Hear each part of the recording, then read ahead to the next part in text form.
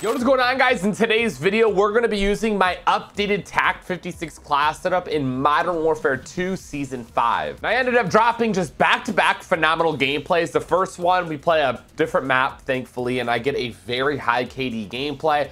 Kind of walk you guys through what I was thinking during the match. And then the second one, a whole lot of fails and a whole lot of kills, to say the least. Before we get into that, quickly want to shout out those of you who got the notifications on. If you guys like a shout out in the next upload, have them notifications on in the comment down below, Noti Gang. Without further ado, man, the TAQ 56 here is why it's my favorite weapon in all of MW2. Sitting back here sniping. Is there anyone else back here? Because like, just oh, there we go. I was about to say. No one's really been any in any gunfights. I think the spawn's flipped. That's what it is. Right. Cool. I actually don't mind Raceway too. This is a, a good map. All I gotta do is get my, my UAV advanced or something, and then usually things are pretty, I see him right there on the left, I'm gonna turn around. It's usually pretty chill after that. Ain't nobody flanking me, sorry bro. Oh shoot.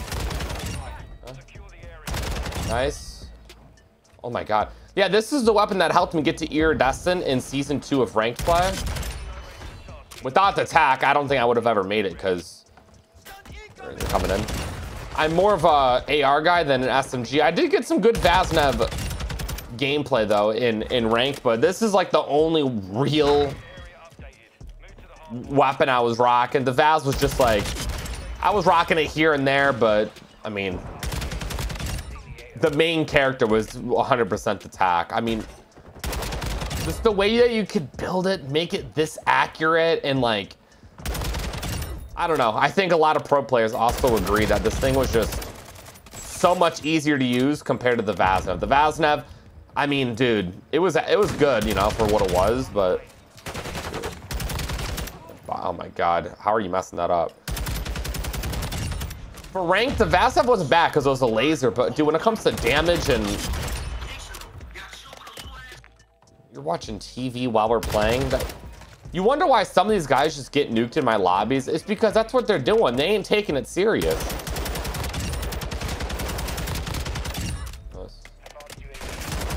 Good job, teammate. Huh? Oh, I'm stunned. Shoot. Shoot, shoot. Get me out, get me out. That was unsafe. Oh my god. Yeah, the Vaznev wasn't bad for rank, but dude, I mean, this thing... The power it did at a range is what made it so deadly. So when you sit back just a little bit with this thing, kind of over. I'm on a brutal. He's running away. Okay, I need five kills. I don't really have a radar. I'm gonna have to lock in a little bit. that guy's...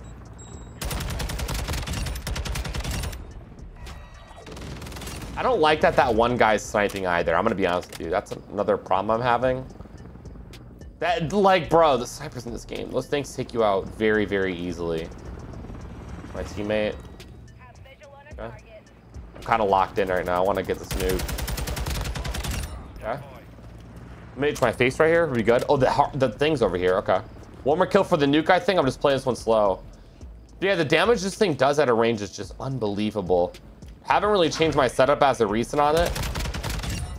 Shoot. Oh my god, I was caught sprinting. I should have been dead, but he was reloading. Uh, we're still alive. Nice. Okay, cool. Let me know what level you guys are sitting at in season five of M. Oh, still sitting there. In MW2, I'm I, as you saw, I hit level 880. But before the season started, I was only at like 804, 805. I mentioned it before, but I've leveled up almost 80 times. I've been having a lot of fun. I'm dabbling a little bit more into Warzone because of the nukes and the rewards. And I wish multiplayer had more stuff like that, man. You 15 nukes, you get this cool blueprint. 20 nukes, you get this camo. Or 50 nukes, you get this camo. What? It's all good. It's all good. The next COD, it's they already announced it. It's going to be MW3. I, I hope they actually make some positive changes and revert us back to a classic COD where the minimap works the way it's supposed to work. Ninja's a perk. It's all rumored, but rumors could be anything, bro. Who knows what they're really gonna do? But I, I really hope they revert some of these these little body changes they've made. Nice, good job, teammate. Make the game feel more aggressive. I've talked about how the play style is.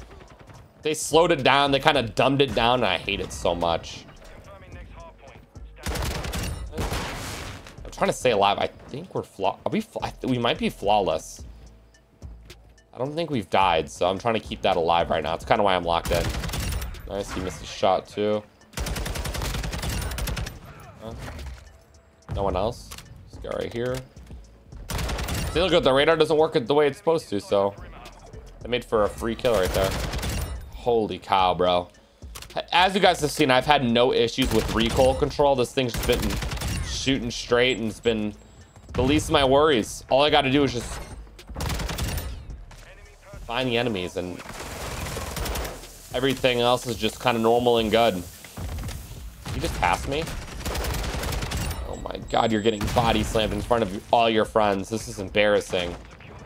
51? I think we're 51 and 0 right now. Holy cow. A flawless game here on Raceway. I'm just playing the edges. You can learn quite a bit. I saw the glare at the last second. No. I'm calling my nuking. Game's over. A little bit slower, but I mean, hey, we got the job done. MGB nuke with TAQ 56. Again, I already shared my this build in my top five for season five. Um, I definitely had to get some gameplay behind it because it's probably my favorite build I shared. So it just gives me another excuse to run it.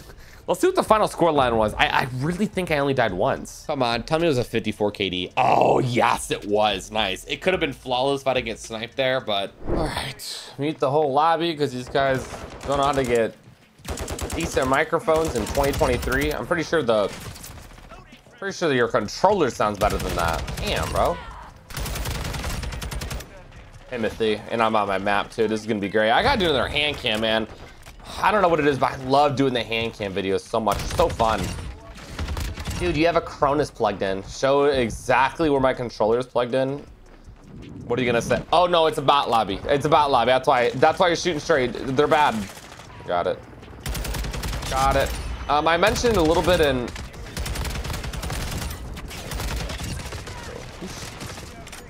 Oh, it was him. Little snaking. You, know you guys want to do a little bit of that, huh? I am a prodigy at MW2. I was in my element during ranked. I ain't gonna lie. No one could touch me when it came to that. Oh, that was such a good time. I hope there's ranked like literally immediately in the next Call of Duty game. That's something it needs that it never has is ranked right away. It's it's like the best way to get good at games. Play against the best, you you get good, man. You got to play against people who are better than you to get good at the game.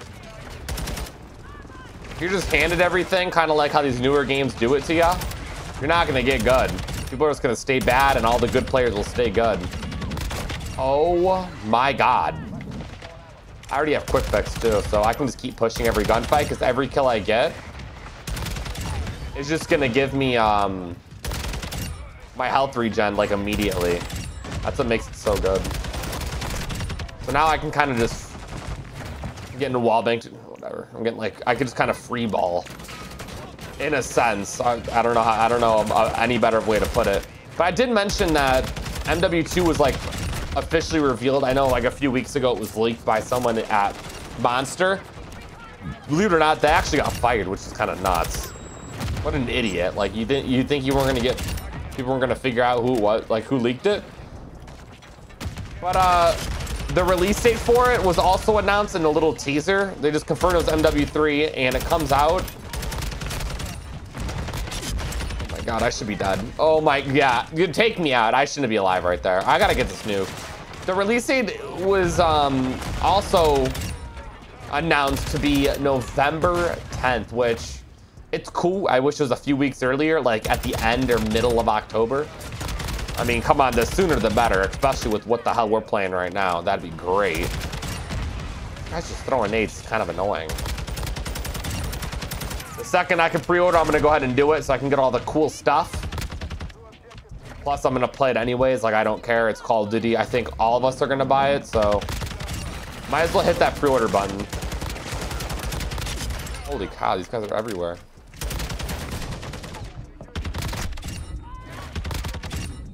My god. Oh my god.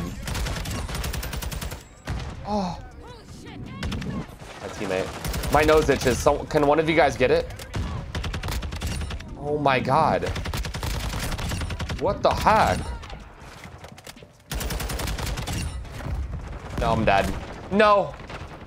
Oh my god. No! What? This... Bro, this game does not want me to get a nuke. There's no way. Bro. You know what's crazy about the next COD too? Is all the advertising they've done for it so far is basically just letting us know. What is going on? Hey, they're just spawning them anywhere. What? All, all, the marketing they've done for the new Call of Duty game is literally just telling us, hey, it's not going to be like MW2. Um, they ended up sending some creators like some packages and they sent them uh, some slides, a random just rusted can, and then a phone. So slides, can, sell. Basically confirming they're bringing back slide canceling. Um, it was also rumored that, I already mentioned in the, in the first gameplay, they're going to be bringing back um, Ninja is a perk, red dots on the mini map, which the red dots on the mini map were in um, a different version of the game that was tested by creators. And then they ended up taking it out of the game. So it's like, all the advertising they're doing is like, hey guys, don't worry, it's not going to be MW2. So basically, for me personally, at least what it sounds like is, yeah, the next Call of Duty game, oh, I heard footsteps. Oh, this is rough. I'm at like 100 kills and no nuke. Ugh, is it to be one of those? It's been like this a little bit too much recently. I was talking pretty hot, I ain't gonna lie, before, before this map. Well, we're looking good. UAV up. So it just seems like we're getting a game called MW3, but they're doing everything that they could have done to this game. It's, it's basically like a huge, a huge patch update for MW2. That's what MW3 literally sounds like. That's not what it is, but it just sounds like that. Kind of annoying that they could have just overhauled this game. I just think it, Infinity Ward had... They had their vision set on what they wanted for the game. It failed miserably. And now these other studios, Sledgehammer and Treyarch specifically, are really trying to like... Let's get this advanced up. They're really trying to fix what they ruined. Like, it's just that milsim, that milsim slow-paced gameplay it's just, bro, people don't like that stuff. I mean, like, that's just not what COD is, man. Like, we need a... I'm glad they're reverting back. I really hope Sledge, or I hope Infinity Ward sees, like, yeah, what we were doing was, in, that was just not a good idea. Let's not make that horrible mistake ever again. Reload real quick. I gotta, I gotta take the, I gotta take advantage of this advance, you know. They're all pushing me now. Okay. Oh, shoot.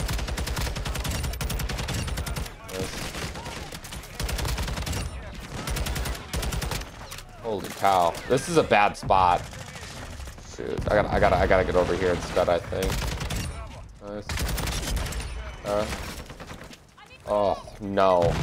No, no, no, no, no, no! The nade That bro, that nade Oh my god.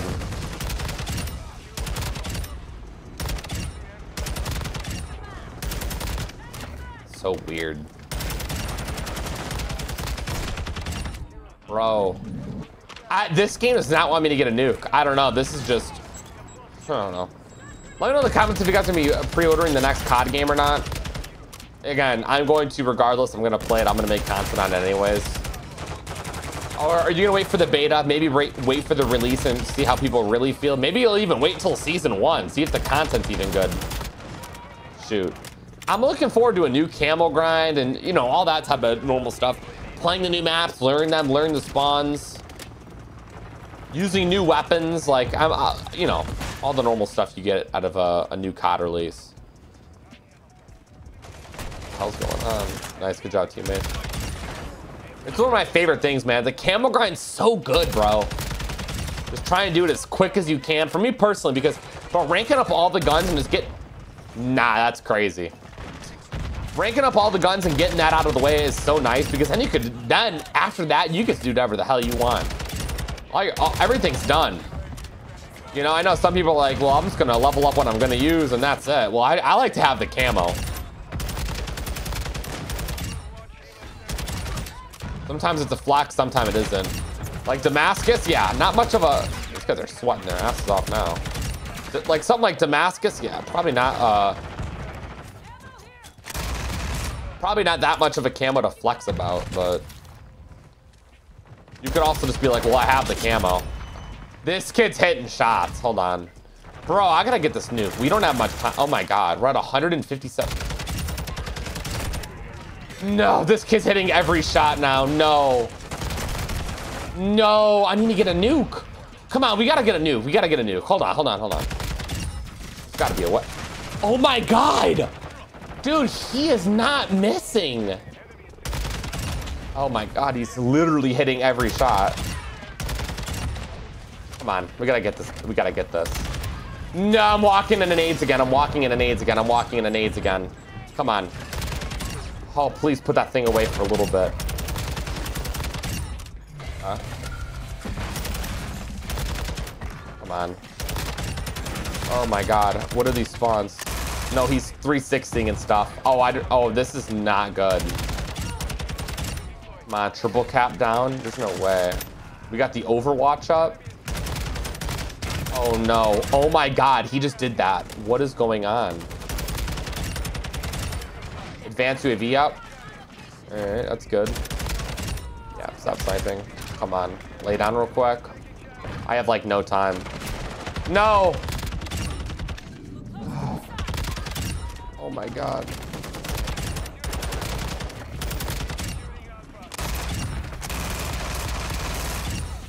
Oh my god, I didn't get the nuke. What is going on? I have 182 kills and no MGB nuke. It is what it is, man. I'm gonna keep them fails in there. Anyways, here is the TAQ 56 class that I was using in the gameplays. If you guys saw my top five, this is the same exact build. So, uh, yeah, sorry if you got to see it again. Anyways, we got the demo clean shot grip. We get sprint to fire speed with this, so my weapon comes up quicker after sprinting. ADS speed, so I can be quick and snappy with my shots. Got to increase the magazine size. The base is 30 and uh, 60 for me personally. It's too much. It'd be nice to have, but it does slow your weapon down a little bit more than having the 40 on. So I just kept the 40. Uh, if you feel like you got to increase it, you're more than welcome to. It's kind of personal preference. I then threw in the high velocity ammunition. I get bullet velocity. This is going to help me just be a lot more successful at longer ranges. The bullets are going to come out of the weapon a little bit more quickly. That'll lead to a faster time to kill. Uh, we then have the X10 Gravedigger Underbarrel where I get a huge increase in recoil control and accuracy. This is going to help me land a lot more of my shots, just be more accurate overall. And then same goes for the muzzle. We got the Cronen OP44, vertical and horizontal recoil control. With this muzzle and our underbarrel, man, I, I swear, you are going to be hitting every single shot with that combination. And then for the tuning, um, I tuned my rear grip for the pros that it offered, the aim down sight speed and sprint to fire speed. Uh, same for the ammunition. I tuned it for damage range and bullet velocity, which, um, you know, I'm tuning for, for the pro and the con. So that just makes this attachment even more deadly. For the underbarrel, I did recoil stabilization and then aim walking speed. I love strafing back and forth. I do it all the time. If you saw the gameplays, I was doing it in every single gunfight. So it only made sense for me to tune it for that. And then finally for the muzzle, I did recoil stabilization and recoil control. So just fully dedicating this attachment to recoil control and just making my weapon, once again, accurate as possible. Here's the rest of the class if you guys are interested in that. If you made it to the end of the video, comment down below 182 kills, man. That's how you know you guys made it to the end. I'll be liking heart your guys' comments, and I'll see you in the next upload. Only if you guys are subscribed with those notifications on, all right? You guys all stay safe. Have a great day, and I'm out. Peace.